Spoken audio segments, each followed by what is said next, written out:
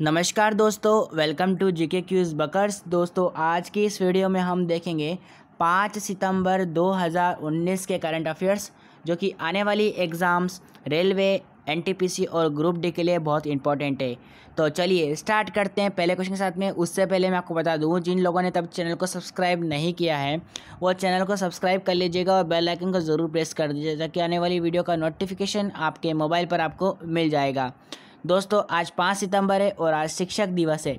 तो शिक्षक दिवस के लिए कॉर्ड जो डॉक्टर सर्वपल्ली राधाकृष्णन के द्वारा लिखा गया था, कहा गया था उनके शिक्षक वह नहीं, जो छात्र के दिमाग में तथ्यों को जबरन ठूसे, बल्कि वास्तविक शिक्षक तो वह है जो उसे आने वाली कल की चुनौतियों के लिए तैयार करें। ये डॉक्टर राधा, सर्वपल्ली राधाकृष्णन जी ने ये कहा था, ठीक है? तो याद रखिएगा, आज पाँच सितंबर है और आप सभी को शिक्षक दिवस की बहुत बहुत शुभकामनाएँ। चलिए, स्टार्ट करते हैं आज के करंट अफेयर्स से।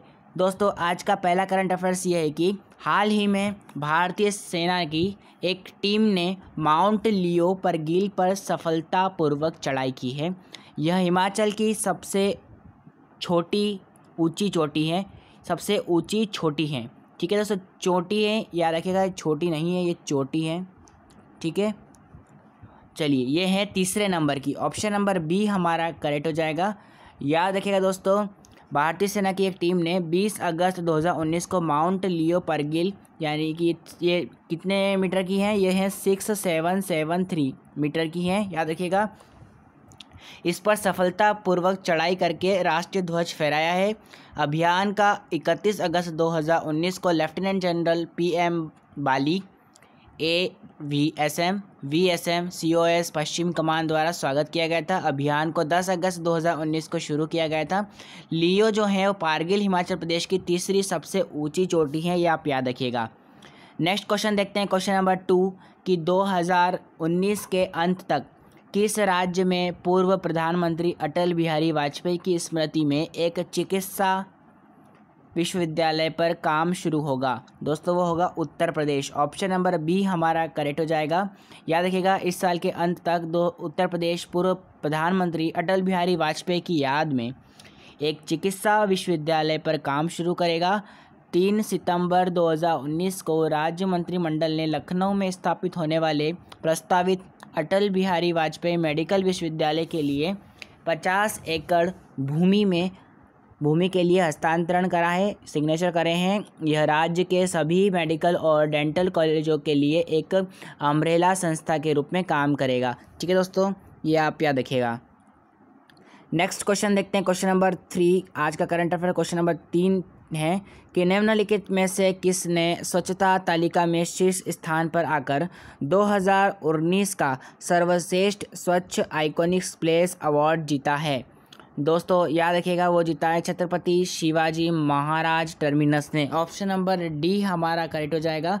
याद रखिएगा, Chhatrapati Shivaji Maharaj terminus C S M T ने स्वच्छता तालिका में शीर्ष स्थान पर आकर 2019 का सर्वश्रेष्ठ स्वच्छ आइकॉनिक प्लेस अवार्ड जीता है। जल शक्ति मंत्रालय के तहत पेयजल और स्वच्छता विभाग ने स्वच्छता आइकन पुरस्कार के चरण वन की घोषणा की है। यह पुरस्कार छः सितंबर को नई दिल्ली में स्वच्छ महोत्सव के दौरान एक समारोह में दिया जाएगा। ठीक है नेक्स्ट देखते हैं क्वेश्चन नंबर फोर्थ कि भारत किस देश के साथ युद्ध अभ्यास 2019 आयोजित करेगा? दोस्तों, याद रखिएगा, वो करेगा अमेरिका के साथ। ऑप्शन नंबर ए हमारा करेक्ट हो जाएगा।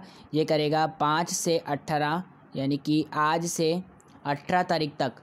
Joint base Lewis McChord, Washington, America में यूथ अभ्यास 2019 का आयोजन किया जा रहा है। यह भारत और अमेरिका के बीच संयुक्त रूप से चलने वाले सबसे बड़े सैन्य प्रशिक्षण और रक्षा निगम के प्रयासों में से एक है। यह दोनों देशों के बीच वैकल्पिक रूप से आयोजित संयुक्त अभ्यास का पंद्रहवा संस्करण है। ये भी आप याद रखिएगा।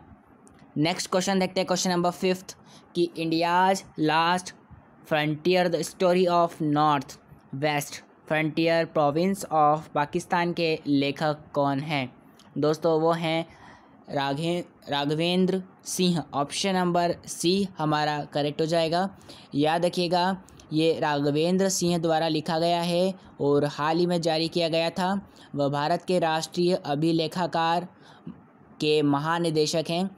यह पुस्तक पाकिस्तान के खैबर पख्तूनख्वा के इतिहास पर आधारित है, जिसे पहले उत्तर पश्चिमी सीमा प्रांत के नाम से भी जाना जाता था। ठीक है दोस्तों, ये आप याद रखिएगा। नेक्स्ट क्वेश्चन देखते हैं कि नुआखाई त्यौहार निम्नलिखित में से किस राज्य में मनाया जाता है? दोस्तों, याद रखिएगा, वो बनाया जाता है ओडिशा में। ऑप्शन नंबर ए हमारा करेक्ट हो जाएगा। याद रखिएगा, पश्चिमी ओडिशा जिलों के लोगों के लिए बहुप्रतिष्ठित दिन है ये। और नुआखाई जो है, वो तीन सितंबर 2019 को बड़ी धूमधाम के साथ मनाया गया। और इस दिन लोग सुबह निर्धारित समय पर अपने संबंधित देवताओं का नामक जो जो भी नामक हैं, वो नई फ़सल की पेशकश करते हैं और नुआखाई जुआर त्यौहार का एक प्रमुख अनुष्ठान है। यह मित्र, रिश्तेदार और जो भी शुभ चिंतक हैं उनके उनके साथ शुभकामनाएँ का आदान प्रदान करते हैं और नुआखाई मौसम के नए चावल का स्वागत करने के लिए मनाया जाता है। ठीक है? नेक्स्ट क्वेश्चन देखते हैं कि सितंबर 2019 में किसने टी ट्वेंटी अंतर्राष्ट्रीय संन्यास की घोषणा की है? दोस्तों, वो की है मिताली राज ने। ऑप्शन नंबर सी हमारा करेक्ट हो जाएगा। याद रखिएगा, भारतीय महिला क्रिकेट की महान और ये एक दिवसीय कप्तान हैं मिताली राज। इन्होंने तीन सितंबर 2019 को टी ट्वेंटी अंतर्राष्ट्रीय से संन्यास की घोषणा की है। और याद रखिएगा, ये ये जो कि हैं, उन्होंने अपने टी ट्वेंटी करियर का अंत एटी नाइन मैचों में थर्टी सेवन पॉइंट फाइव के औसत से और नाबाद नाइन्टी सेवन के उच्चतम स्कोर के साथ दो हज़ार तीन सौ चौंसठ रन के साथ किया है। ठीक है दोस्तों, ये आप याद रखिएगा। नेक्स्ट क्वेश्चन देखते हैं क्वेश्चन नंबर एट्थ कि 2019-21 के कार्यकाल के लिए association of award election bodies के अध्यक्ष कौन बने हैं? दोस्तों, वो बने हैं Sunil Arora. Option number D हमारा करेक्ट हो जाएगा। ये आप याद रखिएगा। भारत द्वारा रोमानिया से अध्यक्ष का पद लेने के बाद भारत के मुख्य चुनाव आयुक्त सुनील अरोड़ा ने association of world election bodies के 2019-21 सत्र के लिए अध्यक्ष का पदभार संभाला है। ठीक है दोस्तों, ये आप याद रखिएगा। चलिए दोस्तों, आज के लिए इतना ही काफ़ी। हम कल फिर मिलेंगे नए करंट अफेयर्स की वीडियो के साथ में। तब तक लिए दोस्तों, हमारे चैनल को सब्सक्राइब करना ना भूलें। सब्सक्राइब करने के बाद बेल आइकन को ज़रूर प्रेस करें ताकि आने वाली वीडियोस का नोटिफिकेशन आपके मोबाइल पर आपको मिल जाएगा। धन्यवाद दोस्तों। जय हिंद, जय भारत। एग्ज़ाम्स के लिए आपको ऑल द बेस्ट इस वीडियो को आप ज़्यादा से ज़्यादा अपने दोस्तों के साथ ज़रूर शेयर करें फेसबुक व्हाट्सएप और इंस्टाग्राम पर। धन्यवाद दोस्तों।